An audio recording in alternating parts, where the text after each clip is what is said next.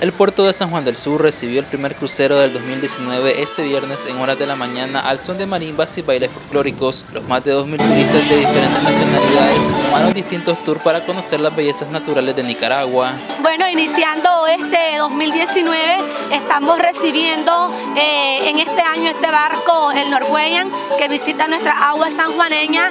Este trae una capacidad de 3.344 eh, turistas y eh, aproximadamente van a salir más de mil cruceristas a los diferentes tours eh, desplazándose en los departamentos de Granada, Masaya y nuestro municipio de Riva.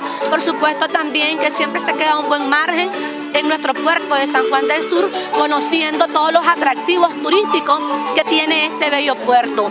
Eh, la temporada 2018 2019 vamos a terminarla para en mayo y cabe mencionar que nos quedan 24 cruceros más que van a llegar a nuestro puerto de San Juan del Sur.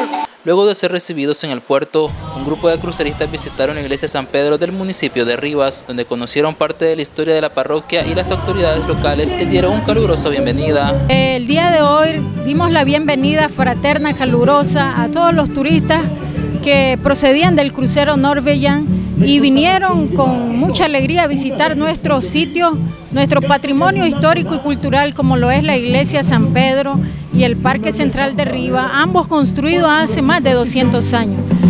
Los hemos recibido con el aprecio y el cariño que nos caracteriza a los nicaragüenses, con nuestra identidad cultural a través de los bailes folclóricos.